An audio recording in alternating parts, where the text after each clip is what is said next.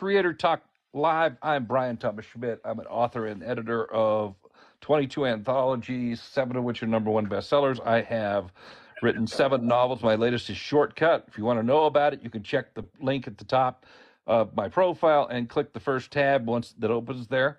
We also have these live shows that we're doing every Monday, Wednesday, and Friday, and occasionally Tuesday and Thursday with the best authors, artists, and musicians on the in well on TikTok and elsewhere. I'm bringing them all in. Uh, tonight's guest is D.D. Black. He is a mystery author and uh, a, a, very successful independent uh, author. And uh, we're going to talk to him all about writing for the next hour or so. You can see these replays. They will be available in the third tab on that same uh, Beacon, Beacon AI link that you click on my profile. they're playing on YouTube. I just put them together, throw the logo on the front and the back and, and put them up there. So you can always watch them later, but hopefully you'll stick with us tonight. Please follow our creator tonight and please like the chat so more people come. Anyway, all that said, DD, welcome. Now that you finally got in here, welcome. Thank you. And I apologize for the, the trouble. Can you hear me? I can hear you just fine. Okay. Can you hear me? Yeah. Are you able to see my video now? It seems to think I'm showing a video. Well, I invited you again to do it. No, it doesn't. It doesn't. Try turn it off and turn it back on. Okay. okay. There you are. There you are. Okay, great. Hey there. Yeah, hey. so you can tell I'm old because I tried to do this on my desktop, and so that's why it wasn't showing your invitations because it was saying this message type not supported. Oh, this is oh, that's for writing and leave on. the technology to other people. So now are you on your phone? Because you're sideways. Yes, I'm on my phone here. I can I can flip it though. That's good. There we go. That'll that'll just be a little bit less awkward. There we go, bud. Well, good to see you. Good to see you. I'm glad we finally got this together. Um, so basically, uh, we're just going to talk about writing. So tell us, um, tell us a little bit about how did you get into writing? What, what brought you to, made you want to write books? So I from a journalism background. Here, let me just get this set up here because I was expecting to do this on my desktop where I have a whole nice setup. Okay, yeah, no problem. Sorry about that. No, that's right. I didn't know that this wouldn't work on a desktop. So uh, I came from a journalism background. Uh, I taught journalism. I wrote for some newspapers, and I always knew that I wanted to write fiction. Um, and I kind of did that off and on until my early 30s when I got serious about writing fiction for a living. And that time I was teaching English and just started writing my first novel and kept going from there and started doing it full time about seven years ago. And um, then really in the last year it started going really well but you know it's a lot of work to transition from writing journalism to writing fiction. It's a lot of different yes. journalistic yeah. things and a lot of bad journalism habits i had to get out of to write fiction. They were good habits in journalism but they didn't work as well in fiction like writing it's true. I, for example. It's true. That was my background too so i get it. Yeah. Yeah it's true. Yeah. so um so you write mystery. What made you want to write mystery I think it's just because I grew up watching mystery shows with my mom and listening to mystery books on tape and reading mysteries. Um, I've always been interested in crime and kind of the the real world. Um, although I'm working on a fantasy project too now, so I think I'm less and less interested in the quote unquote real world. Um, but uh, it's just it's just what came naturally to me when I started writing, and also you know I wanted to make a living at this, so I thought I, I know there's a big market for mystery novels, and I'll have fun sure. writing it. So Sure, sure, sure. Yeah. So how many books? How many books have you put out? You you've been doing it kind of full time. Well, seven years. You said full time. And how many books do you have out?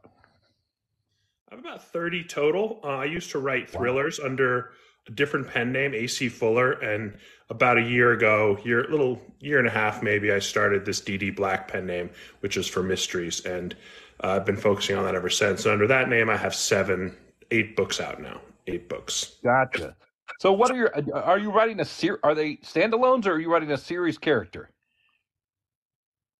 Oops. A big series, and um, I will be at some point soon launching another series, which I haven't yet formally announced, but has been in in the works for quite a while. So, what's the name of your your your series character? Uh, Thomas Austin is a uh, retired NYPD detective who moves to the Pacific Northwest and um, ends up working as a consultant for the Kitsap Sheriff's Department near Seattle. Gotcha. Now, is that where you're based? I mean, what made you decide to set it there?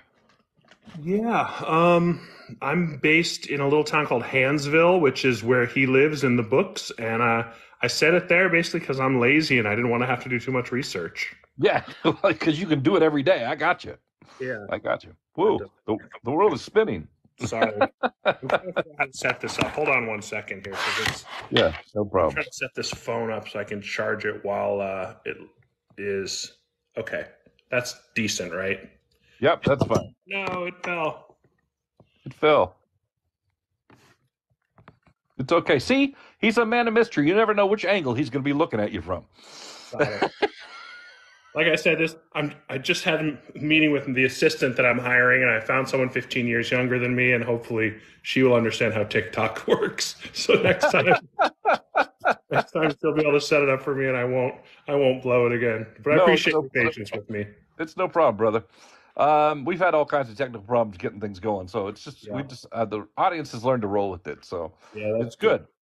Um, so you're you wrote an NYPD inspector. Um, how much research did you have to do to kind of pull that off? Obviously, the laws are different where you are. The laws are different there. The laws in New York. I mean, there's some similarities, but there are some differences. Also, the differences between how a consultant might work and and an actual, you know, officer of the law. Yeah, it's pretty different. Um, I did a fair amount of research. Also, mine aren't super technical procedural mysteries. Some some people are writing really r- true to life procedural type mysteries from within a police department. Mine are a little more on the thriller side, where I take a few more liberties and kind of gloss over some of the stuff a little bit. So they're not just all made up, but I don't go into as much detail as some some books might into the procedural stuff. So, um, in terms of, I wanted to make him a consultant because that way he could work with the police sometimes and then work as a private investigator other times. So there could be books that were within the police department and books outside the police department. So that's why I did that. And, um, it wasn't too much too much difference. I mean, whenever I look up law stuff, it's always applicable to Washington State since that's where they're operating. But uh, book seven in the series was based in New York City, so I had to look up a few things for New York City. He went back home in that book, so did have to look Yeah. up some. I gotcha. Well, so what? How are all seven books that you have out as D D Black based on on this character, or do you have Yeah, more? yeah, it's just a Oh. series with this character, and um, people seem to be enjoying it, and so I'm going to be doing quite a few more. It looks like in this series. Well, are they standalones, or uh, is there a through line? They're uh, they do work as standalones. Each one works as a standalone mystery, but there are some character level through lines. So the Yeah. character relationships do develop. So if you pick up book five, it'll make sense. But most people are reading them in order because they want to see how the relationships are developing, and also the the main character um, has his wife was murdered back in New York City, and so he is finding tidbits about that crime for the first seven books in the Gotcha. series. And then So, what's the first book called? the first book is called The Bones at Point No Point. Uh, Point No Point is a beach uh, and a little park with a lighthouse quite near my house. And uh, that's book one in the series. And yeah, it's currently either, either the number one or number two mystery on Amazon right now and has been for quite a while. So people are really liking this one. Um, kind of to my shock. And after you write a lot of books and most of them don't do that well, it's, Right. it's a little bit of a shock when suddenly something really takes off. And how many are, how, are now? Are these available in hardcover and and and audio and paperback and and ebook? I mean, what is the format that you can get them? Yeah. in? All of the above. Yeah. Okay. All of the Well, above. definitely bring brother, bring me a hardcover next week, and I'll I'll buy one from you at Rave. Definitely want to check it out. Okay. I actually may not have any hardcover. Oh, wait, I, Oh, think I, I see some. Yeah, I, I move. I sell so few hardcovers. Most people like the paperbacks around here, so I don't. I actually do have some, but I will. I'll bring some, and uh, yeah, no, we'll I'm a hardcover guy, so yeah, I definitely want. We're what I'm talking about is we're going to be in Vegas together at a convention called Twenty Books, a whole bunch like, and there will be 300 uh, indie authors, including D.D. Black, myself, Jonathan Maberry, Kevin J. Anderson, Craig Martelle, and uh, a whole bunch of people from all different genres. Yeah. There's romance, there's everything. We're all going to be signing. It'll be a week from Friday, from 10 in the morning to 4 p.m. It's free, and you just come to the Horseshoe Casino and, and, and ask them where the rave is, and they'll they'll send you back in the convention center, and that's where we are. And so you can come get books fun. signed, and there's book signings, there's giveaways. There's no pressure to buy anything, but you can get a lot of stuff for free there. I think aren't Yeah. they giving like Kindle Unlimited subscriptions and all sorts of stuff? There's usually readings. You know, it's a lot of fun. Good morning, Roof. I see you. Hi.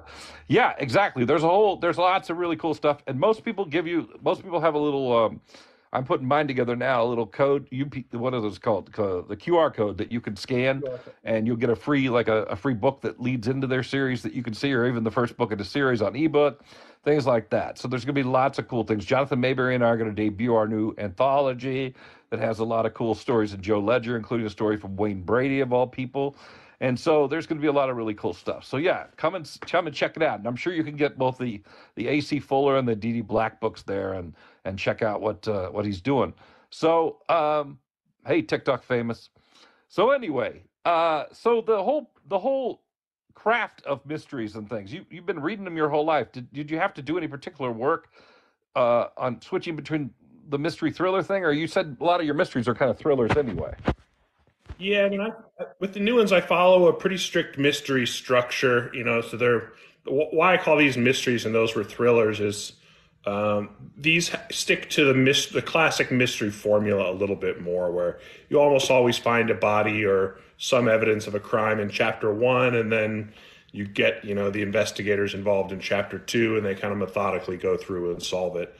Um, so I would I would say these are more traditional mysteries. They verge on thriller, and there's a little bit more action in these sometimes. Um, they're not like uh, super low stakes. They're they're pretty dark. The crimes are fairly gruesome. There's a lot of jeopardy. but they're not cozy. They're definitely not cozies. Yeah. They're definitely not cozies. And if you go read the blurb of the first book and you find out that the villain, the press has nicknamed her the Holiday Baby Butcher, uh, usually that's enough to turn people off if they aren't into that. Into you know, it's it's not it's not graphic, it's not gruesome, but the crime is fairly horrific. It's it's the worst thing I could think of to put in a book, honestly, in terms of the crime. So no, the crimes are fairly dark, but the main characters are fairly likable. It's not it's not a sort of a you know drunken abusive detective kind of guy. It's uh, more people you'd want to hang out with. Uh, although the villains are, are fairly fairly horrible. But yeah, I did a lot of research on the mystery genre. In addition to reading it, I kind of structured it out to figure out how I wanted these to be paced and how I wanted them to flow and and to make them as, as fast paced as possible without losing depth and really make them entertaining for the readers. I get it. And you're dealing with murder after all, so it isn't a pretty business no matter how you look at it. No, it's not. I mean, I, I, I think because of my journalism background, I I want to reflect the real world as much as possible, and so um, you know, there's some pretty horrific crimes in the world. It turns out, uh, people ask, how did I come up with the crime in the first book because it's so horrific, and I I, had I actually had Googled a list of the most uh, horrific serial killers in history and read the list and actually took one of the killers and changed a bunch of details and toned it down a lot for the book. Um, so it is loosely based on a real uh, British um, case from the 60s and 70s. Gotcha. Well, yeah. I mean, and and uh, and you know, I love those dark, gritty thrillers. That's my that's my wheelhouse. That's it's what I it's what I tend to write. I write thrillers, but some of mine have a mix of science fiction in them. But I'm I'm writing my first straight thriller, and it's it's a straight kind of a it's a PI story. It's a noir, and so it doesn't the the body doesn't the body shows up, but not well. The bodies are it's a it's a long story. He has to go to a different country to investigate. So anyway, the point is, he knows about the murder early, but it's kind of a more of a thriller setup, surprise story kind of thing. But anyway, yeah. So I mean, when you when you you deal with all this, as obviously as a journalist, you know a lot about um, investigating things, so that helps you. But what about the forensics and those kind of things? How do you get into all that besides watching CSI, obviously? Yeah. Um, usually I pawn that off on side characters. Um, my theory with this, I wanted to make the there is a murder mystery in each one, but I wanted to make the relationships a little bit more central and the character drama a little bit more central. So as much as possible, I summarize that via a conversation with a side character rather than having my main character, who's not a forensics expert, spend a lot of time on that. So he'll have a moment or two of um, you know, very intelligent work, but I try to get the details into the smallest package I can yeah. and move on to things that I think are a little more relatable to people, which is stuff like motive and relationships and um, kind of the, the, philosophical existential stuff. Sure. I, I mostly wave at the uh, intricate details of police work and indicate that the characters are taking it into consideration without putting a ton of it on the page. Gotcha. I that wasn't really a decision. That's just kind of what I ended up doing, and it seemed to have resonated with with a lot of readers who don't typically read a lot of mysteries.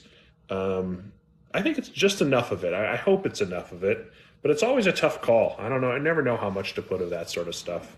Well, obviously the books are doing well, so can't be you can't be doing it wrong. I mean, well, you yeah. know. I mean, pe- people are liking them, um, but it always is a balance. You know, sometimes I feel like I'm, you know, I could have gone into more detail or, or do a little a little less glossing over some of the police work details, but I don't know. It seems to be working well, and I'm just rolling with it.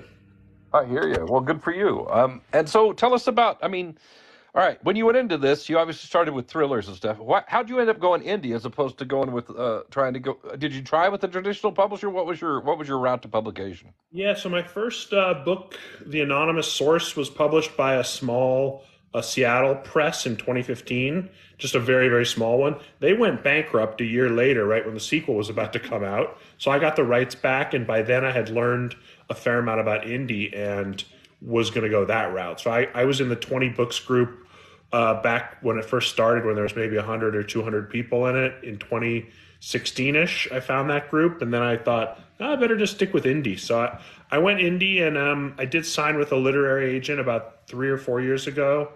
Um, and I tried to go the traditional route for a while while sticking indie with some books. We almost sold a book to a big publisher and didn't end up selling. And then she wanted me to write more literary crime, and I wanted to write a big indie series. So we split up, and the rest is history. That was about 18 months ago, and ever since, things have really taken off. Uh, it's just a different, you know, the traditional route is too slow for me. Um, too many unknowns and lack of control wasn't really my thing. Well, and how long does it take you to write a book? Obviously, you put out seven books or in this series, uh, do you do a, a, book a year? It sounds, or I mean, seven years. You've been, you've got thirty books out, so you obviously don't, you do more than a book a year. Yeah, no, I mean it's. uh I can write a fast-paced sixty thousand word mystery in about a month now, um, and but the book I wrote for my agent took over a year because there's a lot of back and forth. It was a longer book, way more complicated, and I've got a fantasy series I've been working on for four years. That's eight hundred pages and that's not even done. So it kind of depends on the book. 800 I mean, pages is the first book. First book is 800 pages and it's not yeah. done and yeah. it's not out and I don't know when or if it'll ever be out. I've got a lot of world building and some maps and a nice fantasy language and all sorts of stuff. But um, so it really depends on the project. But you know, a gun to my head, I can write a, a, a mystery novel in a few weeks or a month. Um, if it's characters I already know and it's not very long and it's fast paced and things like that. Gotcha. So 60, 60 to 70,000 about the range of most of these books in this series? Yeah, they're all uh, between, I think, 57 and 68. So they're all yeah. fairly short, um, quite fast paced, a lot of action in them, and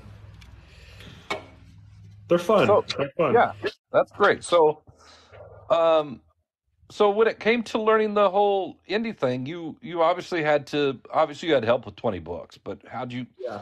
What's your what is your you know obviously okay for those who don't know what the indie thing is, although a lot of people on TikTok do, obviously you do all your own marketing. You you have to find somebody to do all your editing, your cover design, your layout, all that. How much of that do you do? How much of it do you farm out, and how did you figure out what to do and who to work with? Yeah, so at the beginning, I mean, I definitely hung around this uh, 20 books to 50K Facebook group uh, quite a bit and found editors through there uh, for formatting. I found out about a program called Vellum, which is what I use for formatting. Um, I found proofreaders through there. I found cover designers through there and through other Facebook groups. Just kind of networking with people and getting advice. Uh, made a lot of mistakes along the way, a lot of covers that didn't really work for marketing purposes, but I may have enjoyed the cover, but it wasn't a good choice for marketing. Um, you know, I probably wasted a lot of time on marketing efforts that weren't really a good use of my time for selling books. Kind of learned the hard way on some things.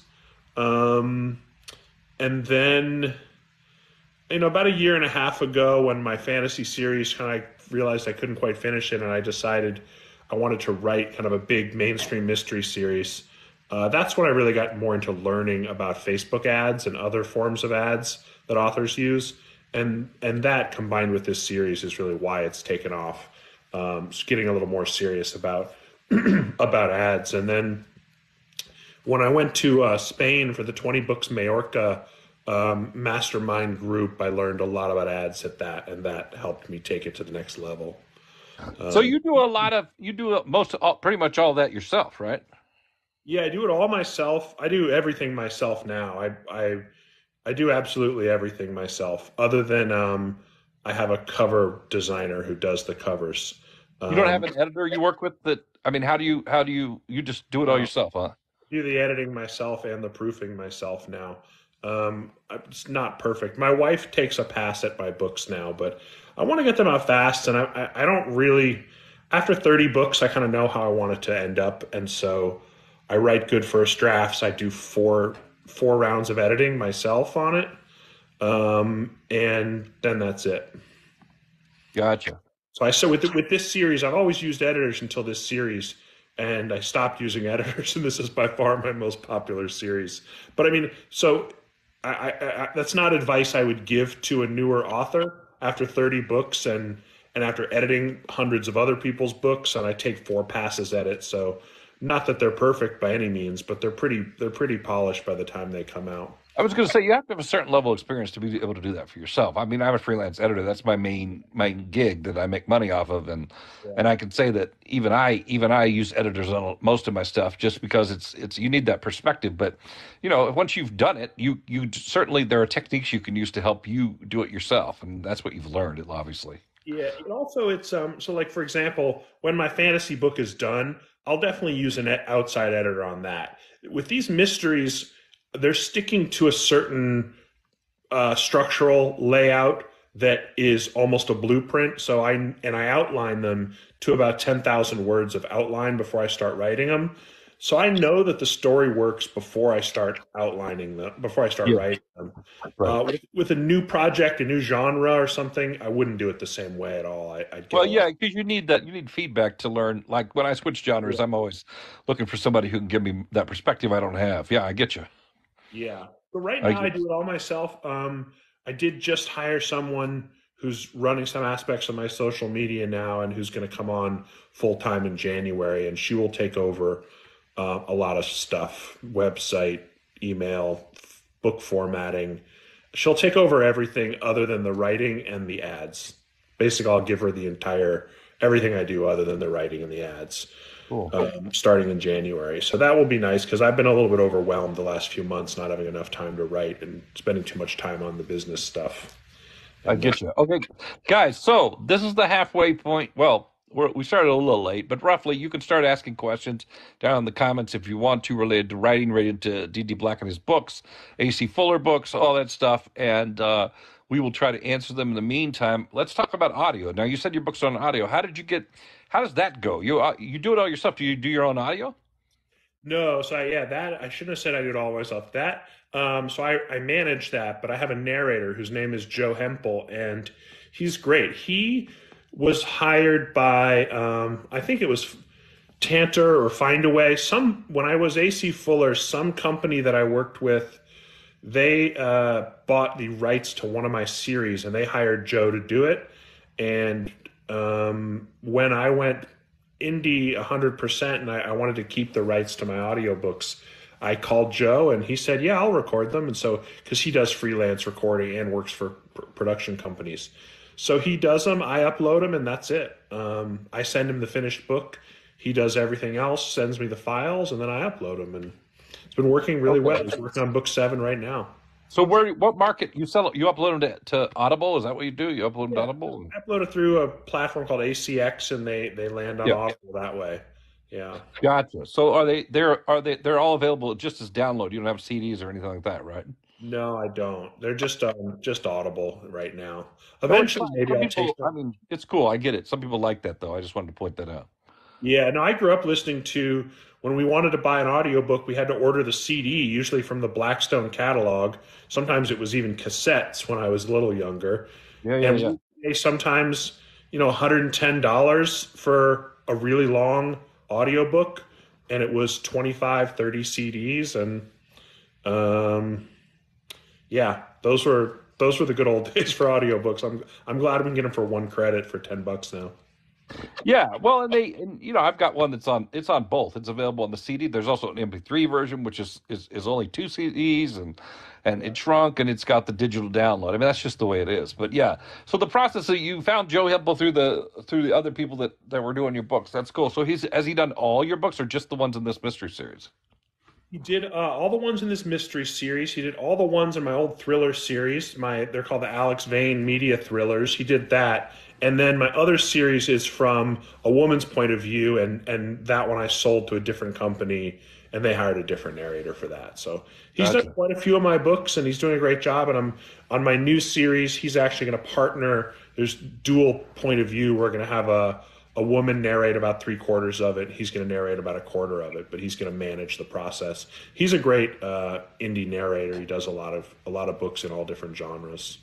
Yeah, that's great. So, so the um uh the the the you said the Alex Vane series. That was your thriller series. Tell us a little bit about Alex Vane for those who might be interested in that. Yeah, so that was uh, back when I was closer to my journalism career. I thought I would write a series of thrillers that I would call media thrillers, which are all centered around a journalist character and storylines that involved newspapers, television, magazines, the media world. So that was the theory behind that. So it's kind of like you would see, you know, you read a legal thriller by John Grisham or whatever. These are all thrillers set in the media. So he was a journalist, investigative reporter, and would be uncovering major crimes and conspiracies and getting all sorts of trouble. Um, so those were, you know, those were a little bit longer, a little less action, a little less murderous. Um, the conspiracies were more political, financial in nature. They usually did involve some form of murder, but not, you know, evil serial killers, stuff like that. Murders yeah, yeah. Okay. to cover up, you know, weird corporate crimes and stuff like that. So yeah, those ones did all right. They were they did well enough for me to leave my teaching job and, and write full time. Um, but they never they never quite took off. And how many of those are there?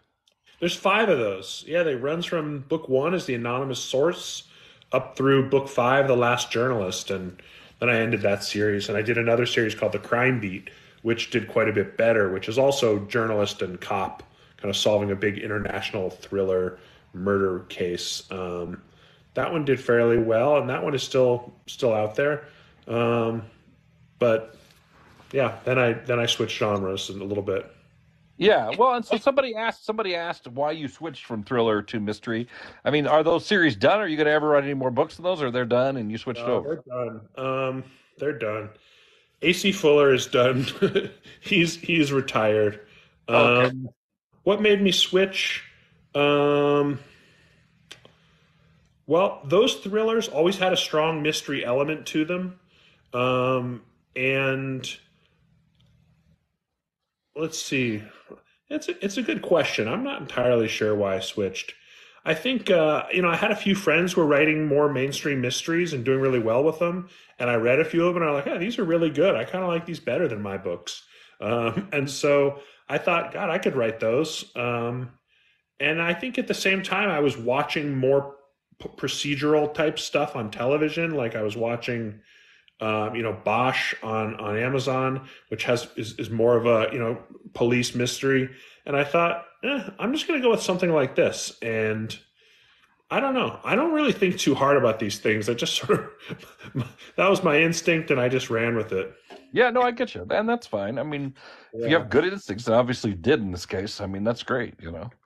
So, what? Go ahead. Oh no, that's, that, that was, I'm just trying to think, I'm trying to think through my thought process. And it was like, I gotcha. I, I can't really remember what my thought process was. Seemed like a good idea at the time. My mom always said if she wrote an autobiography, it would be called, it seemed like a good idea at the time. Yeah, There you go. There you go. That's part of uh, my philosophy. So this is Creator Talk Live. We are talking with author D.D. Black slash A.C. Fuller, uh, and uh, I'm Bryan Thomas Schmidt. You can follow us here. Obviously, like the talk, follow me, follow D.D. Black, uh, so you can see what he's got going on. You can find a link in my profile to my books as well as to past episodes of Creator Talk Live. Again, we do this Monday through Friday. Usually Monday, Wednesday, and Friday will be the regular time. Uh, and I assume they can find your book link on your profile here? Yeah, on my profile, uh, the first that link will take you to the first book in my in my DD Black series. Um, and yeah, it's right there in my bio. yeah, there you go. So uh, let's see. Um, so if you guys have questions, go ahead and ask them, and we'll just keep going here. Um, again, you can also get to the replays, the third tab on my uh, top of the various episodes. I think this is episode six or seven at this point, something like that. Maybe eight. I don't remember. I lose track. Anyway, so uh, you uh, you've been doing these books for a while. You you want to do a little bit of fantasy. Um, tell us about you yourself. You're you're you're you're you're married with kids, as I understand, right? you you have kids. My corgi just ran through the dog door and just trying to get on get in on this interview. So yeah, I've got two kids. Um, a corgi who is featured in the books, and if anyone looks at my TikTok, they'll see multiple corgi videos. That's Pearl. Um, yeah, I live out in the Pacific Northwest. I'm from California originally. Lived in New York City. Uh, taught at NYU in the journalism school there for a bit, and um, now you know i'm pretty obsessive about writing. It's kind of all i do. It's either kid stuff wife stuff or writing um, or, or all so, the stuff that goes with the writing.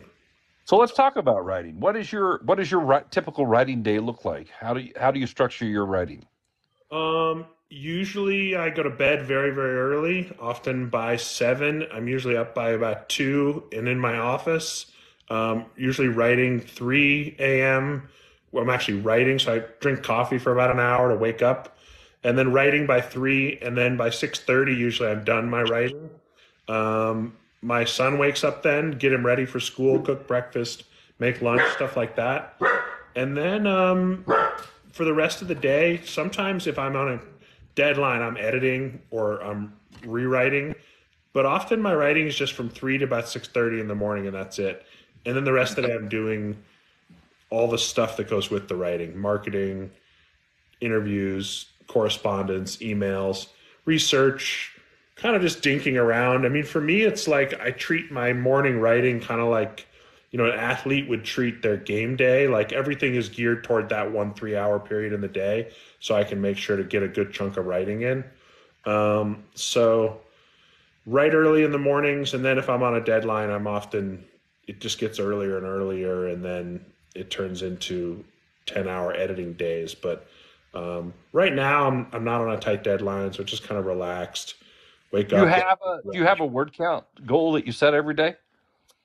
Uh, usually, yeah. I mean, it's when I'm writing a new book, it's usually around 5,000 words in a day. Um, if I'm actively working on a book, I often don't hit that. Sometimes I hit more than that.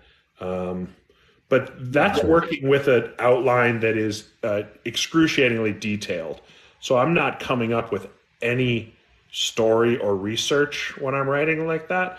Um, a lot of people write more than that, but most most newer authors aren't really writing that much yet. But I'm writing from an outline that's super detailed. So I have all my locations, character names, the beats of the story, kind of the mood of it. Yeah, yeah. So, and I have that on my outline on one side of my screen, and I have the blank page on the other side of the screen. So I'm kind of typing up a story that I've already lived through when I worked on my outline. Because when I work on my outline, I'm, I'm not hitting a word count. I'm really just trying to come up with a detailed chapter by chapter outline in the course of that usually takes about one to two weeks to do the outline. I was going to ask you that. So okay, and what software do you use when you write? Are you just a Word guy, or do you use Scrivener? How do you? How? What's your? You I know, switched from Scrivener to Vellum. So I, I write in Vellum now uh, and it's uh, which I switched to because it syncs better for me than Scrivener ever did. It's a it's a lot simpler than Scrivener. Doesn't have as many options as Scrivener. Um, but for just getting the words down, I find it pretty useful. So I'll have a dual screen. I'll have the blank page on one side and my outline on the other side, and I'll just uh, go back and forth like that. Gotcha. Do you, so you do it all, but you do do it all by typing. You don't do any dictation or anything like that. Mostly I type. Sometimes I do dictate. I have I have a good uh, recorder on my computer, and sometimes there's scenes like a monologue, especially if I'm not going a bunch, bunch of back and forth. If you know if one character is delivering a you know an impassioned two paragraph monologue, I might just speech to text that um, yeah. because I find I can actually write it a little bit better. It'll take editing, of course. You know, uh, it yeah. would definitely take a few passes, uh, but sometimes I will do that. And I'm not one of those guys like my friend Nick who teaches a class on on uh, speech to text who can go back and forth really fast and, and get 40,000 words in a day or whatever that way. Uh, I'm not that fast. That's crazy. Wow. He's very fast and it's, uh, yeah, I can't do it that fast. I just can't think through that much story at the same time, you know? Yeah, no, I got you. So, so you write it in Vellum and then and then it's already in Vellum. So when you go to format it, you got to do all that. Do you ever do you, do you ever export it out of Vellum for any purpose, or uh, do you do your editing in Vellum too? How do you do all that? Yeah, no, no, I uh, I I do it in Vellum, and I, I rewrite it once in Vellum, and then I put it in Google Docs. And in Google Docs, my wife will read it. She'll maybe make a few changes. Um, then I'll do a full line edit myself in Google Docs and then I do my final edit in. Um, I have Speechify, which is an AI reading program uh, made by a, a, guy who wanted to make a reading program because he was dyslexic. So it, it hooks into Google Docs. It reads the program out loud to you or the book out loud to you, and I watch it on my screen while listening to it, and I catch a lot of stuff that way. So I do a whole edit that way too, which usually takes about 14 hours for a 60,000 word book. Yeah, and I uh, was going to ask you about that because reading it aloud is kind of an important part of the process for most of us. And yeah. so, is it is the Speechify is it a normal voice or is it kind of a computer voice? It's gotten really, really good. Um, yeah. It's not it's not as good as a narrator, right? I wouldn't use it to narrate a book that I would try to sell to anyone, so it's not that good. But it's quite good now. Um, and for me, what I'm looking for is some typo, so like a double word you know, if you have a double word, the the it'll you'll hear that. You might your eyes might scan over it, but you'll hear it. Um, so the narration is quite good. Sometimes I'll even listen to it in a in a different accent because um, I'll catch things that'll just make my mind think about something differently. Um, yeah. So the, the voices have recently gotten quite good in Speechify, and yeah, it hooks into Google Docs, and I'll stare it, I'll read it, and listen at the same time and I find that I, I just catch a bunch of stuff that I wouldn't catch. And I try to do it all in one day, that final edit. So that's like 14 hours or so, where I want to experience the entire book in one day, which is how most of my readers read it. It comes out and then they read it all that day usually. Um, it's an intense day, but yeah, I get it. I mean, I, I my most recent book was the first time I got an audiobook of a novel, and I listened to it on a drive to Denver, and it was so cool to experience the book that way, you know. And and yeah. just hear the whole book back, and you realize, yeah, I'm better than I thought, or I'm worse than I. yeah. I found stuff. I found stuff. I was listening to the, you know, the they hadn't put it out yet, so I was like, oh, here's a few errors I found. Can we fix this? yeah, that's the. What I don't like is listening to the audiobook after it comes out because then it's like there's no fixing it. What I'm yeah, doing before it comes out, at least I can fix stuff. But yeah, it's I find that if I listen to an entire book more like a reader would experience it, where they're not where they're uh, you know getting it all in a day or two days because these are fairly short books. Uh, I can really experience the story and I can study for continuity things and really make sure okay does this piece in chapter 30 connect to the thing in chapter 1 in the way that I want it to whereas if I was doing it over a week or two with lots of interruptions I might miss that kind of thing. Yeah, so, I mean that's the thing. That's what I like. I mean if you can it, you can step outside of it. You know, you're so close to it when you're reading it yourself, and uh, it's so easy for your mind to start getting jumbled with all the stuff you remember. I left this out, or I made this decision, or I did that, and and you start losing the nuance of it. That's why it's so great to to listen to it and read it at the same time. Because again, like you said, you catch those missing words or duplicate words or even repetitive words. You know, those kind of things, and then you also can see how the logic flow worked out if it worked out the way you wanted it to because you can pay enough attention. How do you edit your own stuff these days? Um, I mean, like I know you probably have editors too, but like, how do you do your first pass after you write something? Uh, I take it out of Scrivener. Uh, I, first draft is always in Scrivener because I love the way I can move everything around and hide secret yeah. research and all that. And then I take it out into Word, and usually I run a, a spell check on it just to see what pops up, get an idea of what's there.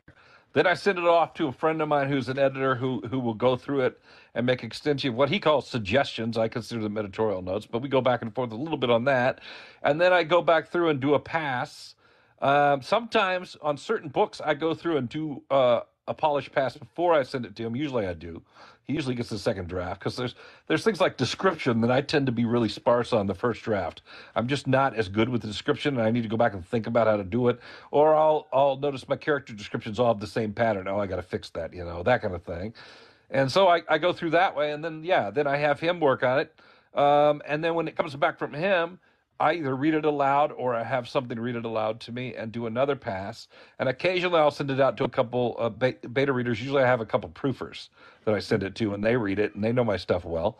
And that's usually my process to get it done. But yeah, I mean, I there are times when I hire an editor. I started doing some women's fiction and romance recently, and I hired an editor for that because I don't know those genres near as well. So I wanted somebody who could go through that and kind of say, "Oh yeah, here's where you're you need to work more on this, you need to work more on that. But for the most part, he, you know, with my thrillers, he's been with me through the whole series, so he tends to do that. And I don't know what I'm going to do with this mystery when it's done because it's it's a different kind of thing for me. So it's the first straight non sci-fi thing I've done. So we'll see what happens with that. But mm-hmm. yeah, that's my general process. And then and then uh, um, pretty much I do it all in Word at that point. I even do book formatting in Word. Um, we have templates that we use. He usually does my book formatting. In fact, the editor, he's really good at it, and he's really good at the widows and orphans and all that. And he'll just he'll just we have templates. We pop it in, and he can get a book done in a, in a, in a couple days, get the thing up and going, and uh, then we just go through and look at what we need to clean up and all that kind of stuff, and and then we're we're good. So I yeah I can put you know you know indie books you know man you can put a book out for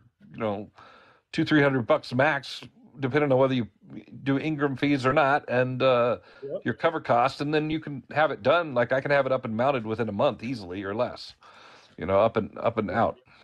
Yep, I know it's it's amazing. I mean, people people sometimes ask like, how did I do seven, eight books total in the fourteen or sixteen months since I created this pen name? And um, yeah, that once you once you're familiar with all the systems and, and also once you've got experience writing at fast, which I do, and I'd planned it out, it's really it's really faster than ever.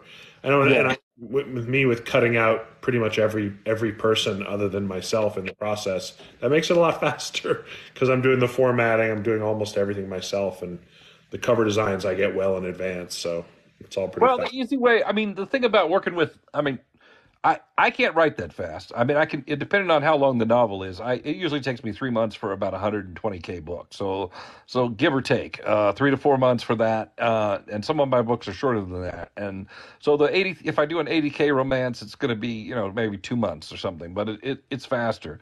But that includes the, the time to go back through and polish and all that stuff. Um, so, you know, I'm not quite that fast, but yeah, the hard, the hard part is when you work with these people, if getting it on their schedule. You have to really find people you can work with and that will put things aside and, and keep you moving if you want to move to get things out. Otherwise, you're at you know you're in a queue for a long time. That slows down everything.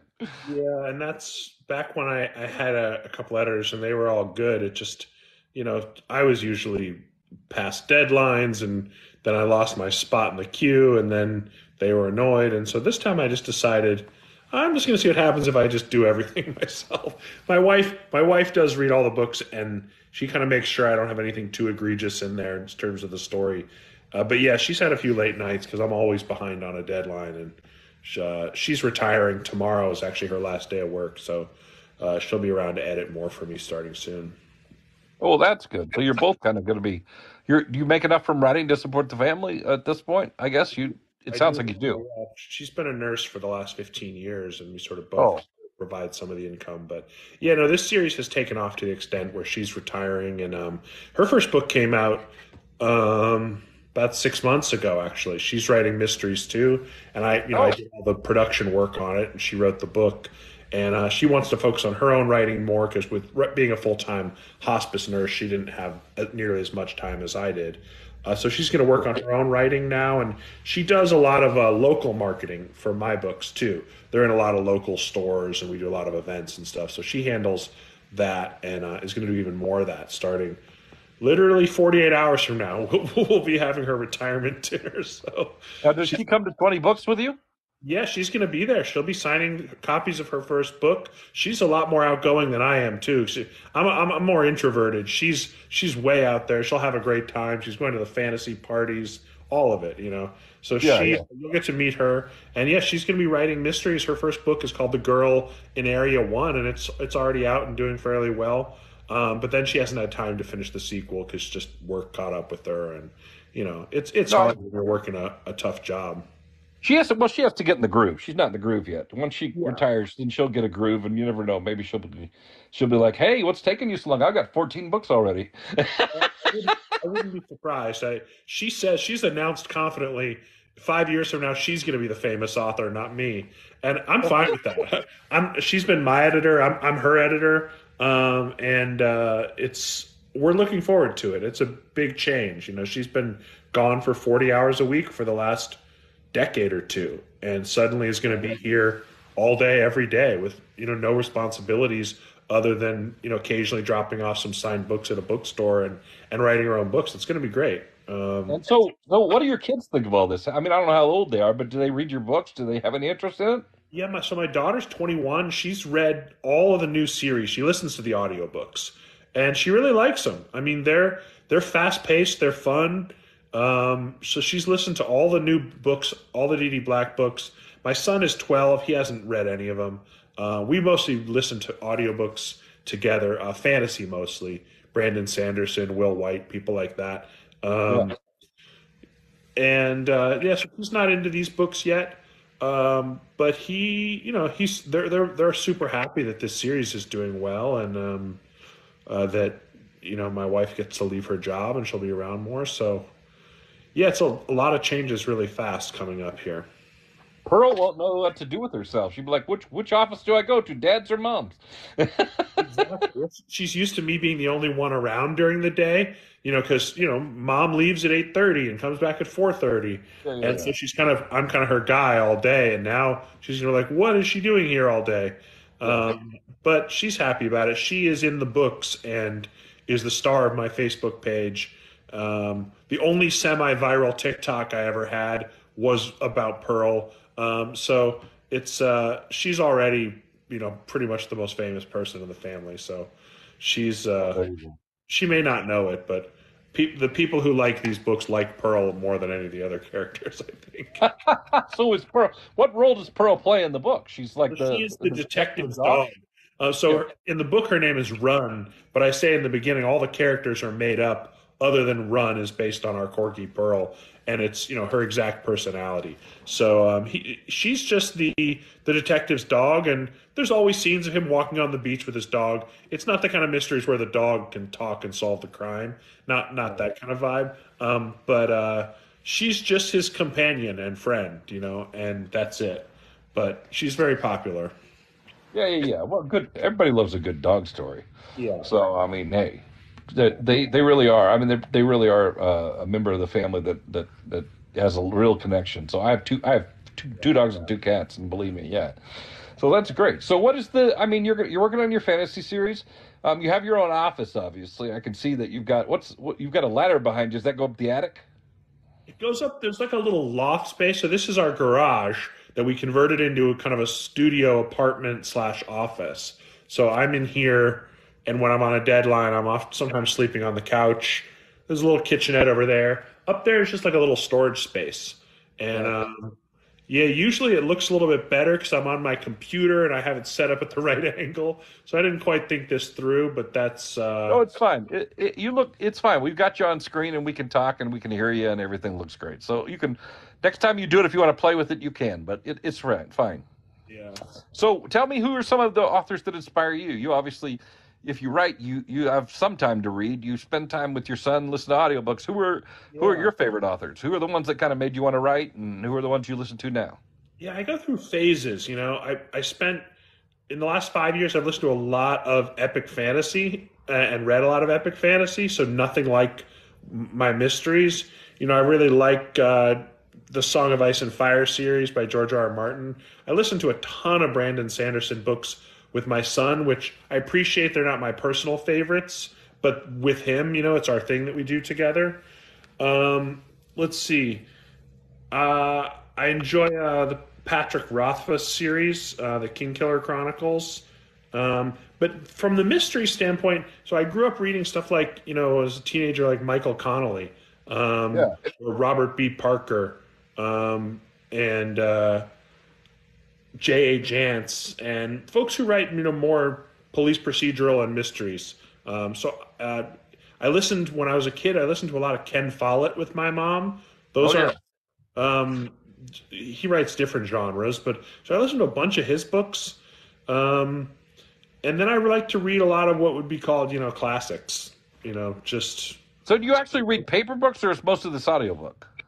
Mostly it's audiobooks now. I used to read only paperbacks and then occasionally listen to audiobooks with my mom. Now it's probably 90% audiobooks. Um, the unabridged audiobook I find with my life is a good fit because I do a lot of driving, a lot of walking, a lot of stuff around the house. So I like to put in my headphones and, and listen to audiobooks a lot of the time. Oh, I got you. So you just do whatever you're doing while you've got them on. Yeah, yeah. Yeah, exactly. It's like I'm. I probably wouldn't have sat and read some of the series I've read on audiobook just because it would have, you know, the 200 hours of, of reading, I wouldn't probably have found the time, but the 200 hours of listening while driving, working out, doing dishes was more reasonable. I got you. I got you. So, obviously, how many books do you have? Any a number of books planned for this series? You're just going to keep writing until you get? I mean, your other series ended. You said like five books, six books, something like that. Is this yeah. one going to keep going? Yeah, this one. Um, I mean, assuming people keep enjoying the books, I don't see any end to it in sight. I mean, it's it's our entire family income is off of these seven books in this series, and um, that's just going to keep going and going. I think. Uh, you know, I am doing another series, but it's fairly similar uh, that will run concurrently with it. I'll kind of alternate books for a while. Um, yeah. So I, I want to keep this series going a, a, for a long time. I mean. The readers tell me they will be very angry if I stop writing them, and so I don't plan on stopping writing them. I'm sure eventually it'll end, but not anytime soon. You don't want to be the victim in somebody else's murder mystery. yeah, I mean, that may be a good story idea. Actually, someone someone ends a series unresolved and then gets murdered. Yeah, um, that's actually not a bad storyline. I, I know there's, especially in the fantasy world, there's a couple big series that are unfinished, and there's a lot of angry fans about that. Um, I don't think it happens in the same way in the in the mystery genre. People don't get as as upset, you know. Yeah, yeah, yeah. Well, you've seen it. You've seen it played out in, in, in, TV and movies on occasion where somebody gets upset about something. Oh, you killed that character. How could you? That kind of thing. But it's always an interesting angle. You know, I mean, I I, I can imagine the somebody killing off the author and then saying, "Well, I got to write the series," but then have to deal with the fans. This isn't the same. What happened here? That's the problem. Yeah, yeah. I, th- I think I think I'll use that for a mystery a mystery novel uh, plot at some point. I think my readers would enjoy that. As someone turns up dead, and it turns out they were an author who decided not to finish a popular series and leave a huge cliffhanger, and then one of the fans killed them. There you go. There you go. Well, that's cool. I'm glad you got an idea out of our conversation. Well, other than that, where do people find you online? They they can find you obviously here at, at DD Black uh, signed copies on TikTok. Um, you've got uh, I know you've got your regular uh, Adam Fuller page. What do you have a DD Black page on Facebook as well? Yeah, DD Black Author on Facebook. Um, DDBlackAuthor.com is where you can find all my books, and then if you just Google DD Black, uh, there's not a lot of us, so the whole first page is just links to Amazon or Goodreads or wherever you want to find books or links. Uh, Instagram, I'm on there. Gotcha. And and speaking of which, not that I mean, obviously his name is you know I, I assume it's not a secret. His name is Adam Fuller. That's his real his real name. But DD Black, where'd you come up with that? Again, as lazy as the first thing I thought of. oh, really? Yeah, when I thought you know I wanted to do a new pen name, I, was the first thing I thought of. I looked it up and knew saw there weren't any others out there. But you know, so when I think about pen names, it's it's usually I want something that's going to be short, so it'll fit on a, on a book cover well. Uh, you know, I don't want a 15 syllable name for a book cover. Uh, Yeah. It sounded like a pretty good mystery name, and you know, I just sort of went with it. It was the first thing I thought of, and you know, a few days later, I had the entire this first seven books. I had you know rough outlines and I had covers made, and um, that was about 14 months ago now. Gotcha. And then what you mentioned your wife writes. What does your wife write under? So people, if people want to check her out as well. Uh, Eva Blue, E V A, Eva, and then Blue the color. Yeah, there you go. So she's got a book out. What's the title of her first book again? It's called The Girl in Area One, and it's also a, a mystery set in Washington State, uh, fairly local to where we live, and and has some similarities to my books in terms of the structure and pacing and stuff. But uh, it's funnier. It's a little more comedic, a little more Janet Evanovich in terms of the tone. Uh, first person uh, from a nurse's perspective who works as a forensic nurse consultant with the I Washington. think you guys will ever do a crossover with your characters. That might be interesting. We have talked about it. Some people have brought it up. Um, you know, our main characters are both single and they're both in their 40s. People have, have raised the, the question of romance. Um, I don't know yet. It's possible. Yeah, yeah, yeah. We got to see. Uh, you know, her whole life's about to change when she leaves her job after really working hard for a long time. So Yeah. I don't want to put any pressure on her to, to write. If she wants to get back to her books, I think that'd be great. She's she's good at it, and um, she's going to entertain a lot of people. But uh, we're not putting any pressure on her yet. Yeah, no, you gotta you gotta figure out her routine and get into it. I get that, all that. Yeah. Yeah, great. Well, hey, thanks for coming on tonight. Thanks for uh, being patient with the technical stuff and spending some time with us. For those again, um, please uh, like and follow our guest, DD Black Sign Books. You can check out his uh, his stuff. Again, he's got a, a tab just like I do at the top where you can go and check out the books in his series. And what's the character's name again? I forgot already. Thomas Austin. Thomas Austin. Okay, Thomas Austin Yeah. mystery series about a uh, kind of a retired NYPD detective who's a consultant with a, uh, a Pacific Northwest um, police department solving murders, different crimes, and uh, you'll definitely want to check that out. These are these are like like one or two on number one or two on Amazon right now. They're they're really doing well. So they're obviously a, a very good series that people really enjoy.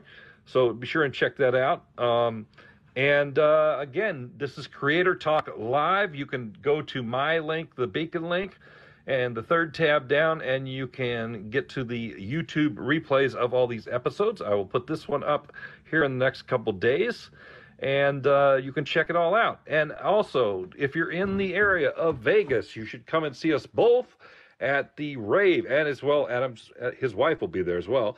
We're all going to be there, 300 authors, and it's it's a lot free event for you. What's that? She's a lot more entertaining than me too. Well, She's there you go. But it's a, I should have her on at some point. But Oh, yeah, yeah. it's uh it's basically uh it's called Rave. It's at Horseshoe Casino and Resort on Friday the 10th of November, 10 to 4, free. Come in there, get signed books, get free giveaways, see readings, all kinds of cool stuff. And uh we will uh hopefully see you there. Thanks again for tuning in for us, for following and liking the program. And y'all have a great time. I'll be back on Wednesday with science fiction author David Acuff. See you then.